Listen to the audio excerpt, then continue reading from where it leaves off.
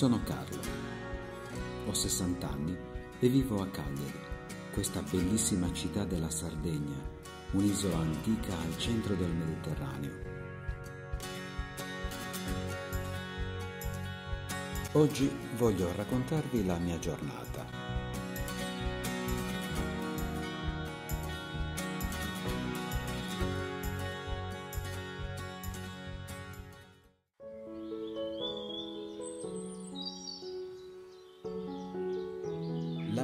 Mi sveglio tranquillo, nonostante da qualche anno non sia più solo, ma ci sia lui. Il Parkinson.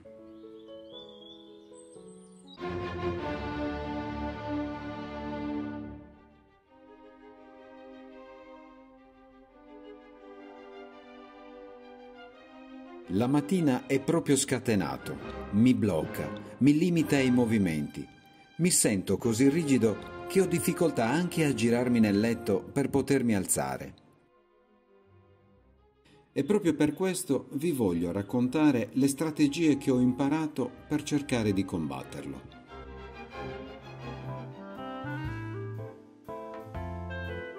Ogni mattina arrivare al bagno per me è un'impresa. I miei piedi sembrano quasi incollati al pavimento e sento le gambe pesanti e come se qualcuno me le bloccasse. Quando mi guardo allo specchio ne approfitto per fare qualche esercizio per la mimica facciale, così come mi hanno consigliato gli specialisti. A quest'ora mi vedo proprio gobbo, come se avessi un peso sulla schiena. In effetti lo specchio serve anche a questo, a controllare la postura, così come si fa in palestra. Quindi faccio uno sforzo per raddrizzarmi, sguardo in alto, petto in fuori, spalle indietro, una bella stiracchiata e si parte. Scendo le scale per andare a fare colazione. Con un po' di attenzione, ma in tutta serenità. Mi preparo una bella colazione perché ho bisogno di energie per affrontare una giornata ricca di impegni.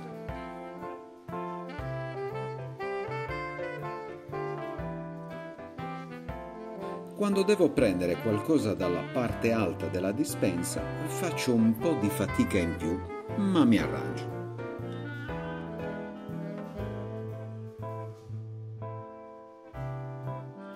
Il Parkinson prova a disturbarmi, ma per fortuna arriva l'ora di prendere le medicine.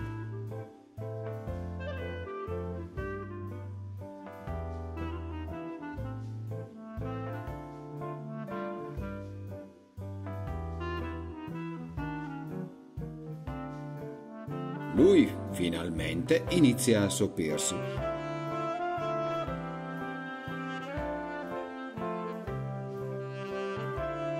E io già comincio a sentirmi meglio. La levodopa sta iniziando a fare il suo effetto. Meglio dare una controllata agli impegni, che ormai per abitudine o per comodità scrivo su dei post-it. Ricordiamoci le chiavi e arrivederci caro Parkinson. Primo appuntamento, la spesa. Avrò preso tutto. Mm, fammi controllare lo scontrino. Fatta la spesa, mi rilasso con un po' di cruciverba, che mi divertono e tengono la mente allenata. Quando, come in questo caso, sono seduto molto in basso, ho difficoltà ad alzarmi. E questo è uno dei primi esercizi che faccio con i fisioterapisti. Dunque, mi siedo meglio, ginocchia un po' larghe, i piedi dietro la linea delle ginocchia, schiene in avanti, mi do uno bello slancio e voilà, sono in piedi. Le strade sono spesso una giungla, lavori e deviazioni e a volte mi capita di avere dei blocchi. Ma anche in questo caso mi è utile pensare agli esercizi fatti in palestra. Infatti mi hanno spiegato che pensare ai movimenti prima di farli ne facilita la successiva esecuzione, come che lo chiamano eh, motor imagery, quello che usano anche gli sportivi, e mica poco. Anche l'esercizio dello slalom tra gli ostacoli mi aiuta molto per combattere il freezing. Quando devo cambiare direzione, devo pensare di sollevare bene le ginocchia. Perché a volte faccio l'errore di girare col busto, ma non con i piedi, che rimangono incollati a terra, e questo può farmi cadere. Quindi penso a staccare bene i piedi dal pavimento, supero gli ostacoli e vado per la mia strada. Camminare è un ottimo allenamento per la resistenza. Cerco di farlo seguendo un ritmo costante, così come faccio in palestra sul tapirulan. E sulla spiaggia è anche più difficile, e questa è una sfida per me. E quando ci riesco, mi sembra quasi che il Parkinson non ci sia. Ho promesso al mio amico Pietro, vecchio compagno di squadra, che sarei andato a potargli la siepe. Sembra un lavoro da niente, ma stare inchinato, in quelle posizioni, beh, vi assicuro che è tanto faticoso. Certo, per la mia schiena non è la cosa ideale, ma sono lavori che mi piace fare. E vabbè che ho il Parkinson, ma questa carriola mi sembra che pesi una tonnellata. Dopo lavori del genere, trovo molto sollievo nell'eseguire la sequenza di esercizi per la postura appresi durante la fisioterapia. Già mettendomi sdraiato, sento che la mia colonna si allunga. Portare le ginocchia al petto tiene le anche mobili e stira la colonna lombare. Ruotare da una parte e dall'altra è utilissimo quando mi devo girare nel letto.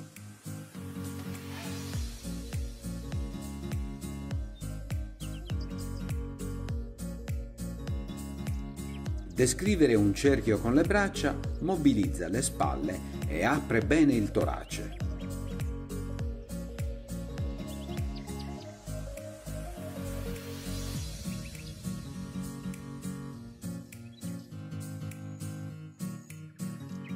Sollevare le braccia sia dalla posizione a pancia in giù, sia da quella a quattro zampe è faticoso ma mi aiuta a stare più dritto quando sto in piedi. Portarle all'infuori, seguendo la mano con lo sguardo, favorisce la rotazione della colonna. Se poi in questa posizione allungo la gamba e il braccio in modo alternato, faccio anche un lavoro di forza e di equilibrio.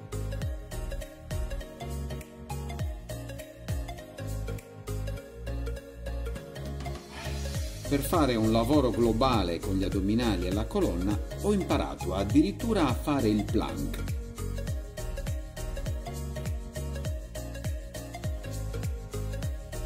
Con le ginocchia sul tappeto cambio il piede d'appoggio, cercando di non perdere l'equilibrio.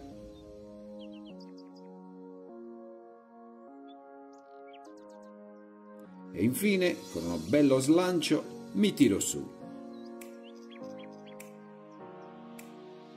Camminando per il parco ho incontrato questi paletti, che sicuramente non serviranno per questo, ma io li uso per esercitarmi nello slalom. Ve ne sono anche alti, che ho trovato più impegnativi, perché mettono in evidenza la mia difficoltà ad affrontare passaggi ristretti. Cadere mi fa tanta paura, per questo, mettendomi in sicurezza, mi esercito per esempio a stare in equilibrio su un piede il più a lungo possibile, perché, come dice il mio amico Daniele, barcollo ma non mollo. Con un po' di fantasia e creatività, qualsiasi ambiente può diventare una palestra, nonostante si possano incontrare elementi di disturbo. Ecco, questi tronchi per esempio fanno proprio al caso mio, per esercitarmi a superare ostacoli sia frontali che laterali.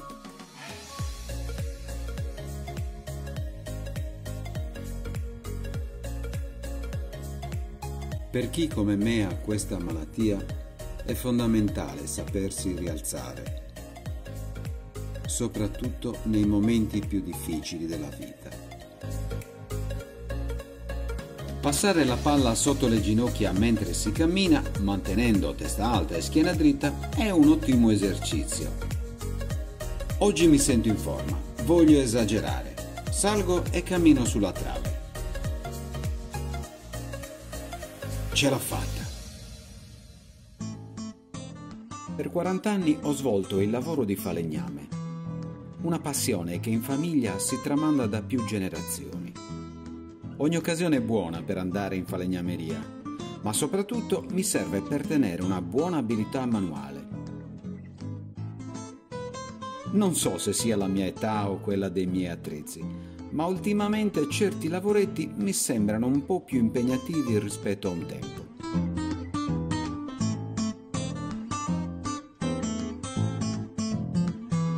Prima che chiudano devo correre alle poste dove si sa quando si entra, ma non si sa mai quando si esce. È una gioia vedere gli amici. Mi ricarica le batterie. Una o due volte alla settimana cerco di non mancare mai all'appuntamento con l'aperitivo e la partita a carte.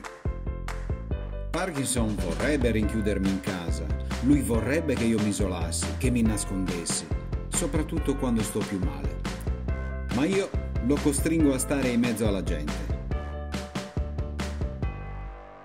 Giocare a carte è un ottimo esercizio per la memoria e l'attenzione.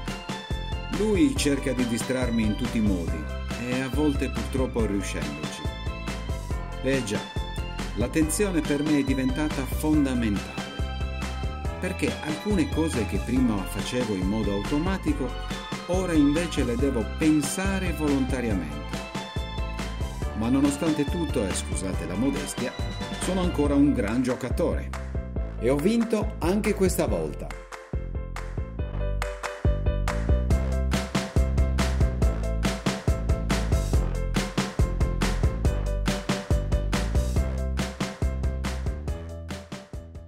Dopo una lunga giornata di impegni, attività fisica e incontri vari, finalmente sono di nuovo a casa.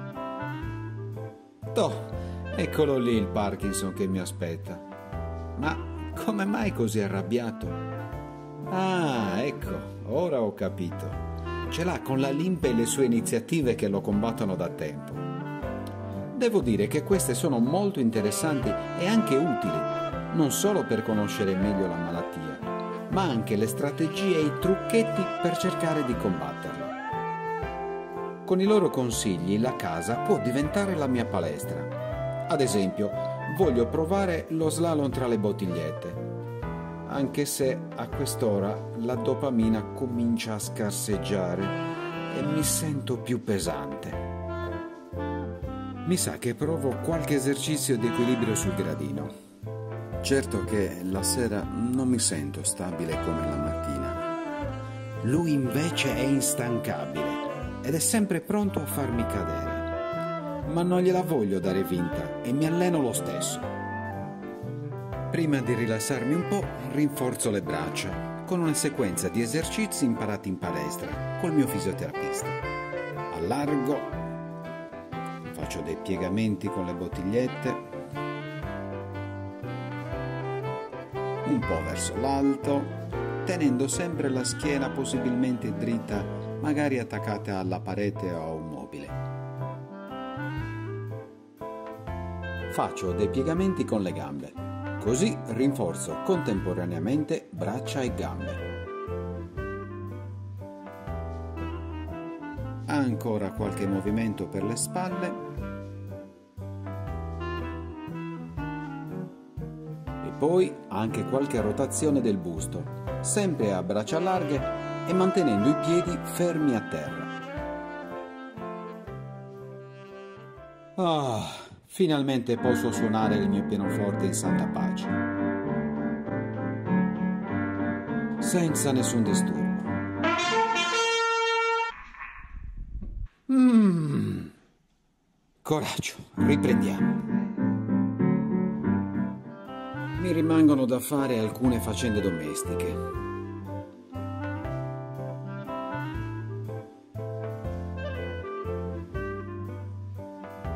Ci picchia! Quasi dimenticavo la pastiglia. Eh, manca poco alla cena. Devo sbrigarmi a mettere i panni in lavatrice.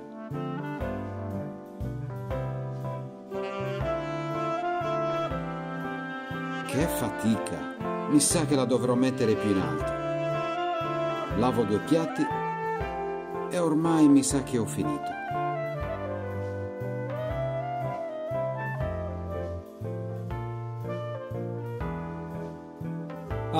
Finalmente mi siedo a tavola.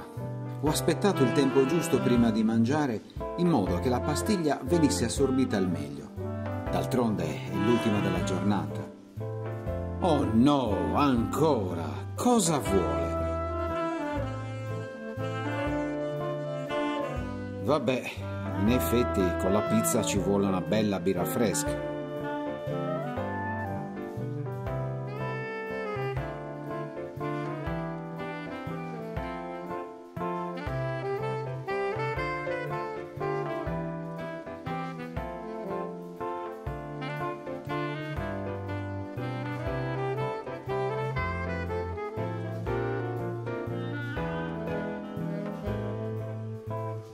Oh! Ma questo Parkinson è veramente egoista. Ma purtroppo eh, ci devo convivere.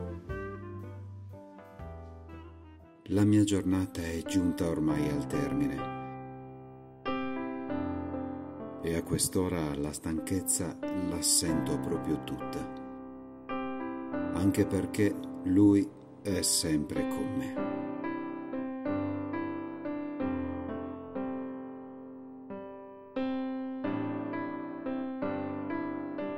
Lo so, caro Parkinson, che sei tanto affezionato a me che non vuoi lasciarmi. Ah. Ma io sono fiducioso che un giorno, forse non molto lontano, qualcuno come me si sveglierà la mattina e non ti troverà più al suo fianco.